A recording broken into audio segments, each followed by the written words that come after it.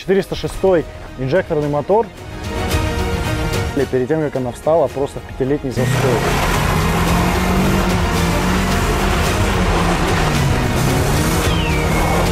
Волгу мы оставили в листе. Безопаснее это? Нет. Быстрее? Да. Поэтому мы двигаемся так. Санечка крепко. Всех приветствую! Вы на канале База Торгов и сегодня мы находимся в городе Элиста. Мы приехали сюда, чтобы забрать тачки, которые мы выкупили с торгов по банкротству по ценам ниже рыночных. На них бомбовые номера и сейчас я отправляюсь, чтобы эти машины забирать. Элиста, жди!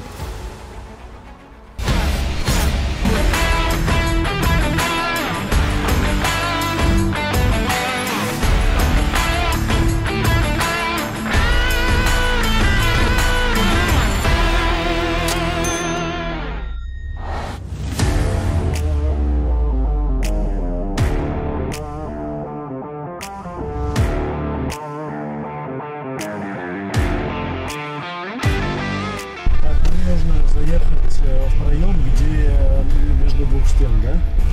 А, ну вот, вот шлагбаум, да. Не зря я качался. Тугие ворота.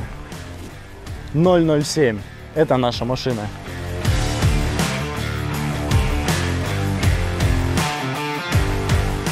Ну, в целом, неплохой вариант. Зачем мы забрали эти машины? На них интересные номера.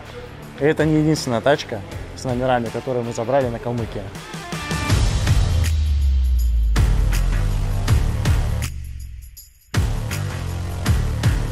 Когда отыграли мы эту машину, нам достался подарок. Да, это, ну, в основном бывают там какие-нибудь кофты, либо забытые вещи в данных машинах, но в данном случае подарок – это еще одна Нива, уже коротыш. Вот представьте, мы заплатили за одну машину, а получили целых две. Но у этой машины уникальная история. Ее только в пятницу сюда привезли, то есть пару дней назад. А стояла она в совершенно другом месте, за 300 километров отсюда. Ох. Знаете, есть такие подарки, которые вообще не хочется забирать, и лучше таких подарков не было.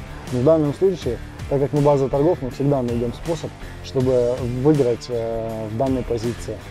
И эта машина находилась за 300 километров от Элисты. Вот представьте, нам сначала ехать в Элисту, забирать там несколько автомобилей, потом еще ехать в этот большой Цирин несколько часов, и потом уже порядка там 10-8 часов ехать в Ставрополь. Вот всем этим скопом автомобилей. Но мы нашли выход из этой ситуации, и человек, который был ответственен за этот автомобиль, он нам всего лишь за 5 тысяч рублей, это с учетом бензина всех расходов, он привез ее нам сюда, чтобы просто для нашего удобства разом забрать все эти автомобили. То есть, как видите, салон тут не luxury, придется им заниматься, но в любом случае это подарок, который еще, ну, вроде бы на ходу, раз она сюда приехала. Пойдемте дальше смотреть, что у нас еще какие подарки. Еще один автомобиль с интересными номерами. AME 400. Значит, этот автомобиль у нас план какой? Продать здесь и сейчас.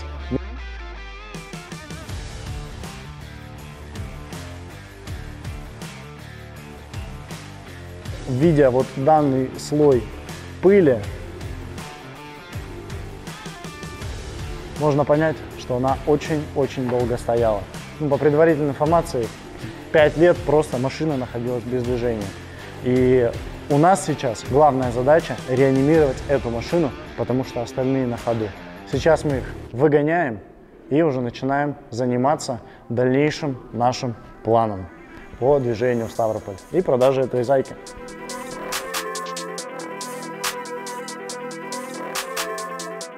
Чего? А, ты же боишься аккумулятора.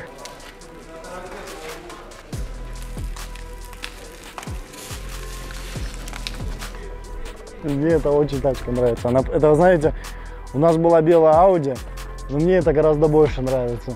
Потому что, серьезно, вот это состояние, это реально как капсула времени. По пробегу там написано 539 тысяч, но так как она была на фирме, ну, вряд ли это ее оригинальный пробег, потому что там сидушки у нее в нормальном состоянии, салон в нормальном состоянии. То есть тут все чистенько, аккуратненько сделано. Значит, это 406 инжекторный мотор. Да, ну, здесь его обслуживали перед тем, как она встала просто в пятилетний застой. Вот знаете, это та тачка, которую ты просто вот с удовольствием продашь, блядь, и она тебе, вот знаете, э, если она еще поедет, я на ней лично вот тут кружочек сделаю, и вот с кайфом передам ключи покупать. Ага, стой. Нашел? Да. Там прям нормально, водопад. Один я на это мероприятие не мог приехать, потому что ну, мне бы было просто стыдно перед нашим механиком, фиксиком Александром. Без, без на- без нашего мастера, который э, собирает тачки, моторы, он нам просто был необходим, потому что мы сейчас будем реанимировать нашу Волгу. Санечек, Пожелайте нам удачи. пожелайте нам удачи.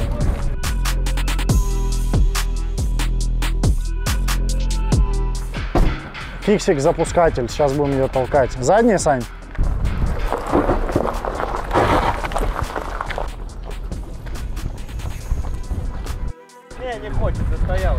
Так она не захотела запускаться, придется уже тяжелую артиллерию вести. Сейчас крузак будет ее дергать.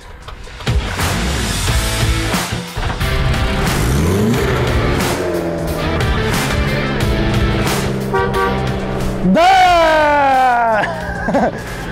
Огонь! Все, тачка на ходу на 50 тысяч сверху к продаже. Она подорожала на глазах. Поедем с комфортом.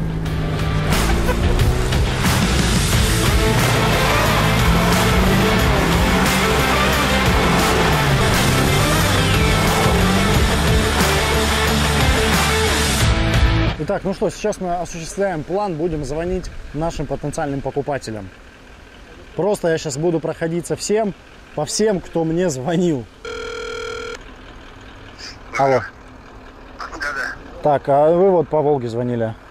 А, да звонили, а, пока в листе были. Она инжектор, конечно. Да. Да, инжектор на 406 движок. Едем продавать автомобиль.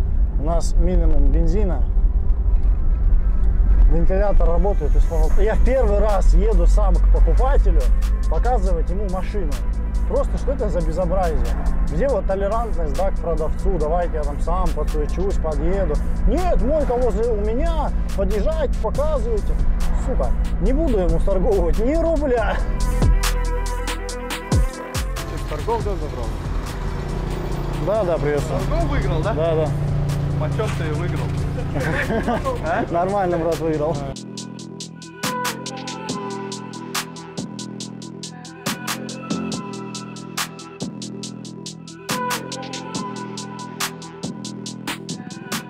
Ну что, машины куплены, документы забрали, ее помыли, тем самым сделали ее стоимость выше.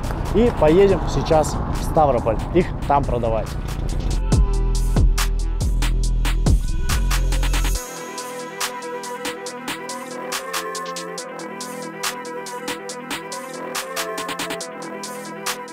Итак, мы, мы еще не успели толком-то выехать из Калмыкии, как уже просто две машины у нас встали.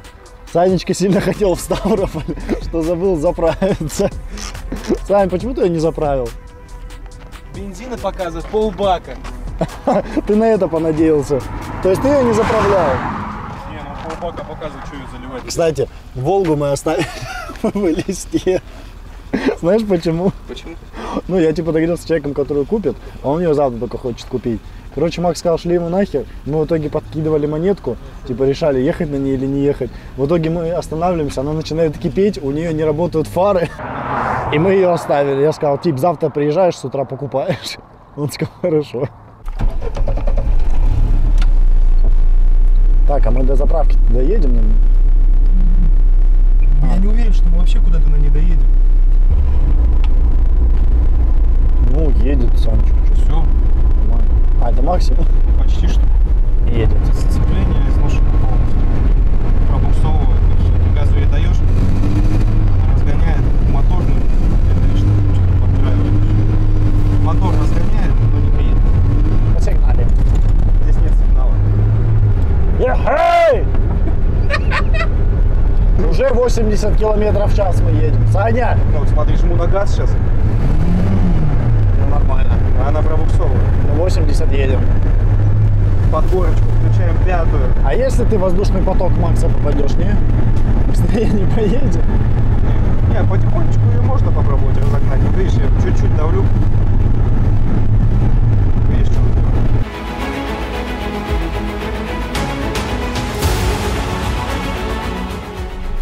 Итак, по моему выражению лица видно, что не все в порядке. Мы на этой Ниве понимаем, что будем ехать очень долго, и поэтому сейчас Анечка пошел привязывать на нее трос. Безопаснее это? Нет. Быстрее? Да. Поэтому мы двигаемся так. Санечка крепит. Ох, какой разгон. Уже начинает становиться страшно. Это офигительно ощущать